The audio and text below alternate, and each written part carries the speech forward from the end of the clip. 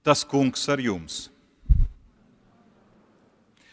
Lasījums no mūsu kunga Jēzus Kristus evaņģēlīja, ko pierakstījis Matejs 28. nodaļā. Jēzus sacīja: Man ir dota visa vara debesīs un virs zemes. Tādēļ ejiet un dariet par mācekļiem visas tautas, tās kristīdami tēva, dēla un svētā gara vārdā tās mācīdami turēt visu, ko es jums esmu pavēlējis. Un redzi, es esmu pie jums ikdienas līdz laiku beigām. Tā kunga vārds. Debes Tēvs, mēs pateicamies, ka mūs esi šodien pulcinājis kopā pie Tava vārda. Mēs lūdzam, Kungs, atdari mūsu sirdis un mūsu prātus iepratim Taviem vārdiem, jo Tavi vārdi bija ir un būs mūžīgā patiesība un dzīvība. Āmen! Sēdieties, lūdzu!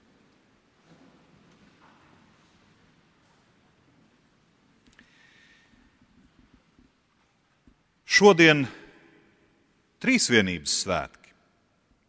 Viena no tiem retajiem svētkiem baznīcas kalendārā, kas nav saistīta ar kādu Bībelē aprakstītu notikumu, un pat ne ar kādu konkrētu raksturvietu, bet drīzāk ar secinājumu. Ar secinājumu, kas radies ilgstošas pieredzes, rūpīgu pārdomu un spraigu diskusiju rezultātā. Un proti, Dievs ir trīsvienīgs. Visas eksistences radītājs, kādā konkrētā vēstures brīdī kļuva piedzīvojams ļoti tuvā, cilvēciski uztveramā veidā Jēzu no Nāceretes. Bet pēc viņa nāves un augšām celšanās vēl tuvākā un vienlaikus daudz plašākā veidā svētajā garā. Un tajā pašā laikā radītājs Jēzus Kristus un svētais gars nav trīs dievi, bet aizvien ir viena vienīgā augstākā neradītā realitāte, kas ir priekšnosacījums visai pārējai eksistencei, kuru mēs pazīstam. Uzreiz gan gribu piebilst, un varbūt tā kā mazliet mierināt, ka mēs šodien nemaz nemēģināsim kaut kā līdz galam saprast Dieva trīsvienības koncepciju. Jo pārdomas un apcere par Dievu būtību ir visas cilvēka dzīves uzdevums. Taču šodien, nu kā jau svētkos, dažkārt ir vērts palūkoties varbūt pašiem uz sevi un aizdomāties piemēram par to, ko tieši un kādēļ mēs šodien svinam kā mēs saprotam šos svētkus. Kas ir to praktiskais ieguvums un pielietojums? Un šajā ziņā Mateja evaņģēlīja noslēgumā atstāstītie Jēzus vārdi ir ļoti palīdzoši. Jo tieši šis evaņģēlīja fragments ir viens no trīsvienības svētku lasījumiem. Un tieši no šo vārdu izpratnes ir bijusi atkarīga baznīcas rīcība dažādos laikos un dažādās vietās. Pamanīsim, ka šeit ir izteikti ļoti nopietni, ļoti nozīmīgi un varētu pat sacīt visnotaļ programmatiski vārdi. Jēzum ir dota visa vara. Tādēļ par mācekļiem ir jāpadara visas tautas. Tās kristot tēva, dēla un svētā gara vārdā, un tās mācot turēt visu, ko Jēzus ir pavēlējis. Un viņš, Jēzus, ir ar mums ikdienas līdz pat laiku beigām. Šo Mateja evaņģēlīja noslēgumu mēdz dēvēt par lielo misijas pavēli. Daudzus gadsimtus šie vārdi ir tikuši uztverti nu, kā tāds pacelts karoks, kurš aicina doties uz priekšu, mobilizējot visus iespējamos spēkus un resursus. Jautājums tikai mobilizējot uz ko? Kādēļ? Kādā veidā? Kas tad īsti ir Jēzum dotā vara? Kādā veidā tā ir dota un kādā veidā tā ir saņemta? Kā šo varu izmantot? Kādiem mērķiem? Ko nozīmē kādus cilvēkus darīt par mācekļiem? Ko nozīmē cilvēkus kristīt, mācīt viņiem Jēzus pavēles? Kā vislabāk, visefektīvāk to izdarīt? Kā jau sacīts, trīsvienības svētki radās kā secinājums noteiktas pieredzes, pārdomu un diskusiju rezultātā. Secinājums, kas pārtapa svētkos. Lai mēs kaut nedaudz varētu uztvert šo svētku dziļāko jēgu un nozīmi, arī mums nepieciešama pieredze, pārdomas un diskusijas. Jo lieliem un nopietniem svētkiem vajadzīgi tikpat lieli un nopietni jautājumi. Galu galā mums šodien ir arī iesvētības. Faktiski šodien mēs esam liecinieki tieši tam, uz ko Jēzus aicināja. Mēs priecājamies un svinam to, ka ir cilvēki, kas ir nokristīti, apmācīti un tagad pievienojas Jēzus mācekļu pulkam. Šādā veidā ik gadus mūsu draudzē tiek iesvētīti apmēram 300 cilvēki. Nu, varētu pat sacīt, ka vismaz Latvijas līmenī tā lielā misijas pavēle tiek pildīta visnotaļ intensīvi. Un tomēr jautājumi paliek. Un ir svarīgi uz tiem ik pa laikam atbildēt. Jā, Man ir dota visa vara debesīs un virs zemes. Jēzus sacīja saviem mācekļiem. Bet ko viņš ar to domāja? Kas tā ir par varu? Kādā citā vietā evaņģēlijos Jēzus mācekļiem teica: Patiesi, patiesi es jums saku, dēls nevar pats no sevis darīt neko, ja vien tas neredz tēvu darām. Jo vienīgi to, ko dara tēvs, tāpat dara arī dēls. Tātad vispirms tā ir vara, spēja, autoritāte, kas nāk no paša dieva. Otrkārt, tā nav uzurpēta vara. Tā ir saņemta, tā ir mantota. Un treškārt, tā ir vara nevis rīkoties tā voluntāri, kā ienāk prātā, kā sagribās, bet tā ir vara rīkoties tā, kā rīkotos debesu Tēvs. Un jaunajā derībā Jēzus to īsteno ļoti konkrētā veidā. Viņš piedod grēkus, viņš atdzīvina cilvēkus jaunai dzīvei, Viņš dāvā cilvēkiem dzīvības pilnību. Citiem vārdiem, tā ir vara pasludināt visai cilvēcei dieva spriedumu, viņa mīlestību, labvēlību un ieinteresētību cilvēka dzīvē. Un pacietīgi gaidīt cilvēka atbildi uz šo pasludinājumu. Lai kāda šī atbilde arī būtu. Lūk, tieši tādai varai, spējai un autoritātei ir jāīstenojas pēc iespējas daudzu cilvēku dzīvēs un likteņos. Tieši šādas varas realizēšana ir lielais cilvēks uzdevums, kurā jāiesaista pēc iespējas daudzi. Viens no tādiem iesaistītajiem savulaik bija piemēram apustulis Pāvils, Par viņu Dievs teica, šis vīrs ir manis izredzēts darbarīgs, lai nestu manu vārdu tautām. Arī Pāvils pats apzinājās, ka viņam dotā vara un autoritāte ir īpaša, ar īpašu nolūku, kā viņš pats sacīja, celšanai, nevis postīšanai. Jo postījis viņš savulaik bija pietiekami daudz. Arī postīšana, protams, ir zināma varas izpausme. Tikai šo varu jaunajā derībā sauc par sātana jeb tumsas varu. Tā bija vara, ko savulaik iemiesoja Poncijas Pilārs, liekot nogalināt Jēzu.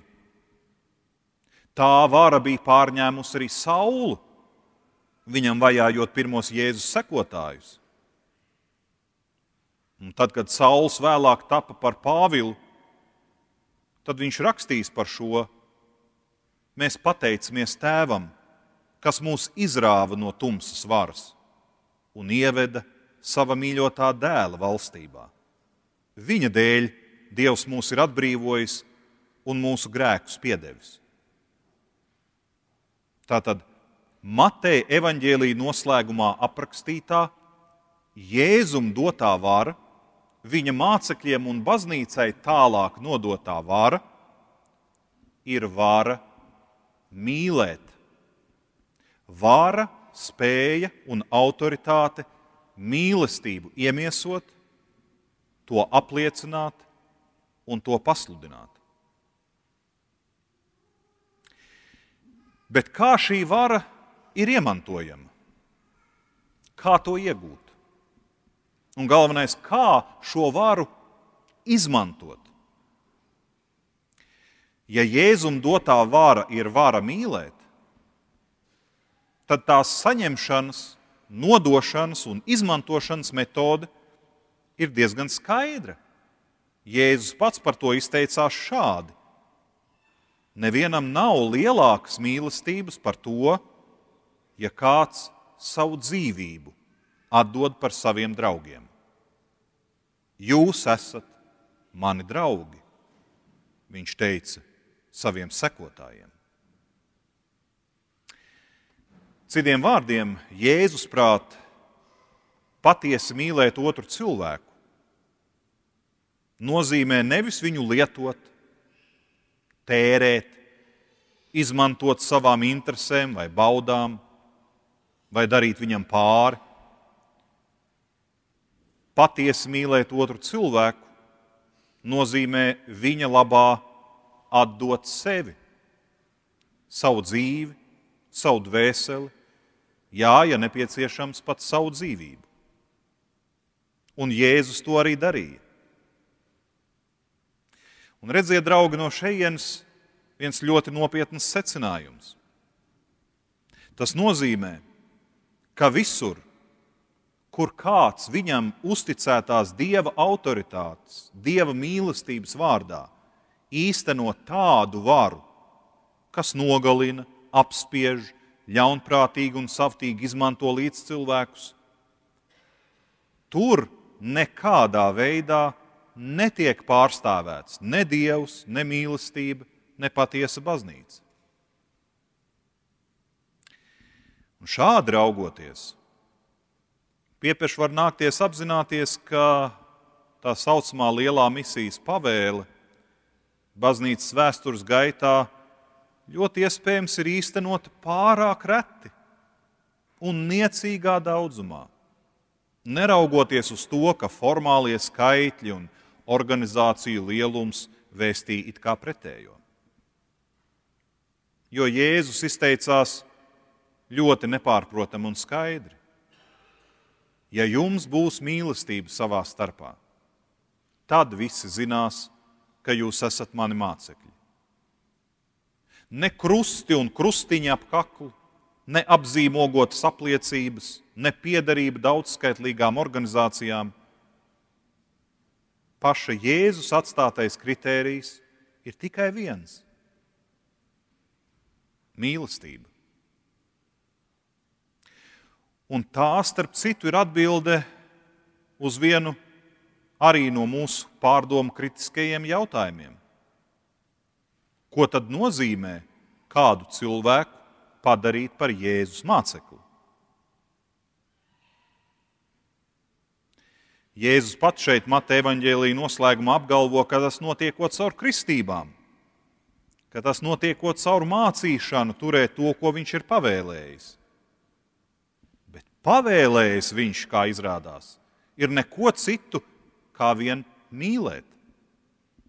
Es jums dodu jaunu bausli, viņš saka. Mīliet cits citu. Kā es esmu mīlējis jūs, tā arī jūs mīliet cits citu. No šejienes attiecīgi izriet izpratne par kristīšanu un mācīšanu. Ja būt par Jēzus mācekli nozīmē kaut nedaudz iemācīties, un vēlāk visu mūžu turpināt mācīties mīlēt, tad kristībām ir jābūt tādam notikumam cilvēka dzīvēm, caur kuru viņš piedzīvo kādu papildus mīlestības pieredzi un aspektu. Kristības kā pievienošanās tādu cilvēku kopienai, kuri apzinās mīlestības nepieciešamību, kuri mācās šo mīlestību ieraudzīt un piedzīvot sevi, citos, apkārtējā pasaulē un kuri ir apņēmības pilni aizvien mācīties šo mīlestību sniegt arī citiem. Kristības kā notikums, kurā cilvēks iespējams pirmo reizi mūžā ir uzdrošinājies atvērties Dieva klātbūtnei un labvēlībai. Tikai ar šādu saturu piepildīta kristība pieredze ir patiesi nozīmīga cilvēka dzīves pārmaiņām un izaugsmē. Tāpat arī mācīšana. Ja caur visu to iesvēts mācības apjomu, kam mūsdienās iziet cauri iesvētāmiem, ja caur visu to apjomu viņi nav kaut solīti tuvāk tikuši izpratnēji par patiesu mīlestību, kaut solīti tuvāk iespējai šādu mīlestību praktizēt, tad tas ir vēl tišķies laiks. Ar visām tām runām par baušļiem, ticības apliecībām, sakramentiem, stāstiem par baznīcas draudzes nepieciešamību. Jo redziet, labs un noderīgs ir viss, kas mūs dara par mīlošākiem cilvēkiem nevajadzīgas blēņas ir tas viss mūsu dzīvē, kas mūs kavē un neļauj mums kļūt par mīlošākiem cilvēkiem. Kā mēs to labi saprotam, ar nāzi var nogriezt maizes šķēli un iedot to izsalkušam cilvēkam. Bet ar nāzi arī var nogalināt cilvēku ar Bībeles vārdiem cilvēks var atbrīvot, iedvesmot, iedrošināt. Un ar Bībeles vārdiem cilvēks var paverdzināt, biedēt un atņemt viņiem vispār pēdējos spēkus. Viss atkarīgs no mērķa. Bet Jēzus uzstādījums ir vienkāršs. Viņš saka, māciet cilvēkus mīlēt. Un te mēs nonākam pie mūsu pēdējā svarīgā jautājuma. Kā tad cilvēkus var iemācīt mīlēt? Kas tad ir tas veids, metode? Vai kāds iesvēts kurs, vai kāds semināri? Nu, gandrīz, gandrīz. Jēzus paša atbilde ir pārsteidzoši vienkārša bet ne viegli. Jā, viņš saka, man ir dota visa vara debesīs un virs zemes. Tādēļ ejiet un dariet par mācekļiem visas tautas, tās kristīdami tēva, dēla un svētā gara vārdā, tās mācīdami turēt visu, ko es jums esmu pavēlējis. un redzi, es esmu pie jums ikdienas, līdz laiku beigām. Parasti ar laiku beigām mēs domājam pasaules galu, fiziskās pasaules bojāēju. Taču beigas jaunajā derībā nekad nav bojāēja. Beigas nenozīmē katastrofu. Jaunajā derībā beigas nozīmē piepildījumu. Tas ir tā, kā Jēzus sacītu: Es esmu Es būšu ar jums tik ilgi, kamēr vien tas būs nepieciešams. Līdz kamēr mēs visi kopā beigu beigās sasniegsim iecerēto mērķi. Un kas tas ir? Ak, jā, mīlēt. Un vislabākais veids, kā palīdzēt kādam iemācīties mīlēt, ir mīlošā un atbalstošā veidā būt klātesošam šī cilvēka dzīvē.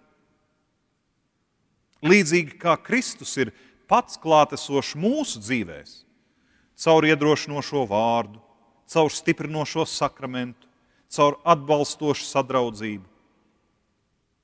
Tā arī mēs esam aicināti būt atvērti un pieejami viens otram.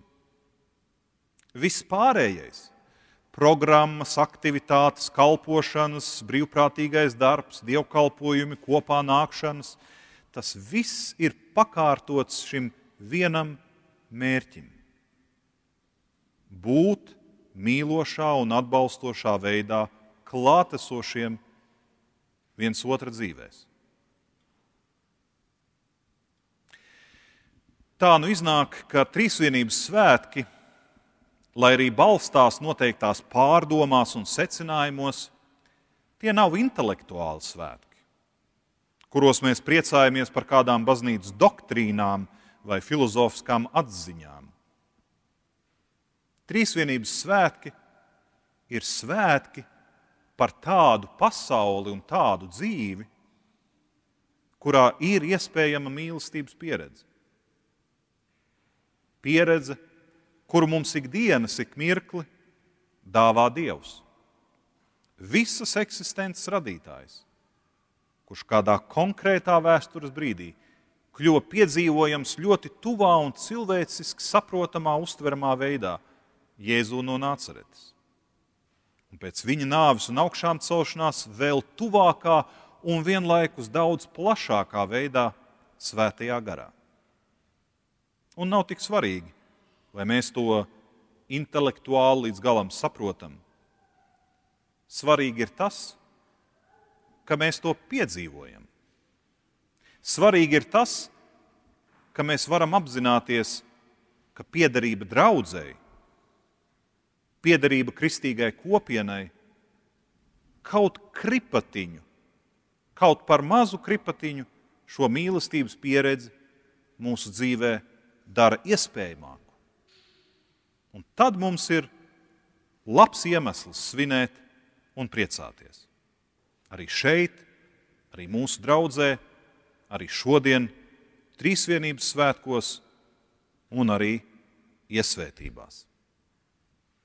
Āmen!